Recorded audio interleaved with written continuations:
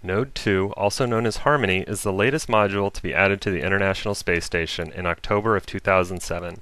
There are a total of six ports on the node to attach other station components in the future. Here is an exploded view of the station with the Harmony module circled in red. Harmony was built in Italy by a consortium of European contractors and shipped to the United States to be launched by the Space Shuttle Discovery. Here you can see some of the work done as it was prepared to be loaded into the shuttle payload bay. Here is a view inside the payload bay during launch, and now with the payload bay doors open during the trip to the International Space Station. During day 4 of the shuttle mission, the station robotic arm is used to remove Node 2 from the shuttle and attach it to a temporary location on the existing Unity node on the station. The final destination for the 31,500 pound module is where the shuttle is currently docked at the end of the Destiny lab.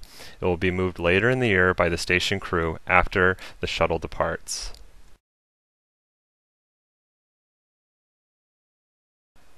Here is a view of the module still in the payload bay after the shuttle has docked with the International Space Station. As we pan across now, you can see it situated at the rear of the shuttle bay. You can now see the astronauts beginning their work in the payload bay to prepare Harmony to be removed. Before launch, the hardware must be stabilized to sustain the g-forces and vibration of the launch, even though there is very little load on it in the null gravity of orbit. There are a number of bolts and fasteners installed to keep the hardware safe during the launch that must be removed. Now the robotic Canadarm2 is in position to grapple the node as the spacewalker moves away from Harmony and back toward the station. The robotic arm moves in towards the attachment point on node 2.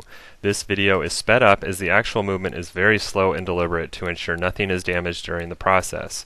You can see the spacewalker moving around near the airlock at the top of the view. The arm is moved very slowly in its final approach to grab the arm. And finally, the node is securely attached to the arm. It is now to be slowly lifted out of the shuttle payload bay. We jump ahead here after it has cleared the shuttle. Here is a view from the payload bay looking up at the module from below with the station behind it. The robotic arm then slowly moves the node away from the shuttle toward the port side of the station. This clip is moving at about 7 times normal speed.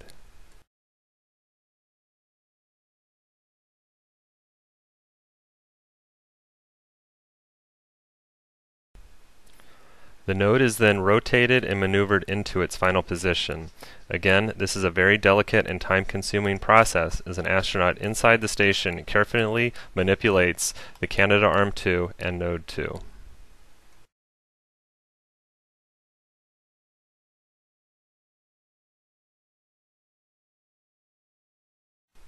In this view, you can see the view of the module hovering in position with Earth passing below.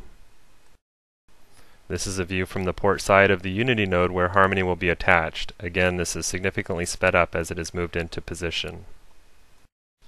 Two spacewalks are planned for November to connect Harmony to the station's cooling system and power grid at its final destination on the Destiny Lab. This will clear the way for the launch of the European Space Agency's Columbus Research Lab, which will be attached to the right side port, while Japan's Kibo Lab module will be connected to Harmony's left hatch in 2008.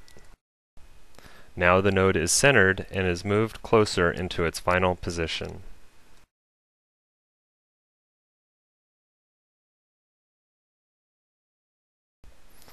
Once Harmony makes contact with the station, the connections are firmly mated. Here the sun has set on the station as the astronauts continue their activities in the dark. The arm now releases its grip on the node. With the node firmly in place via automatic bolts and the internal lights turned on, the crew can now see through the port window into the newest room of the station. It is fairly roomy and adds about 75 cubic meters, bringing the total station working space up to about 500 cubic meters or 18,000 cubic feet.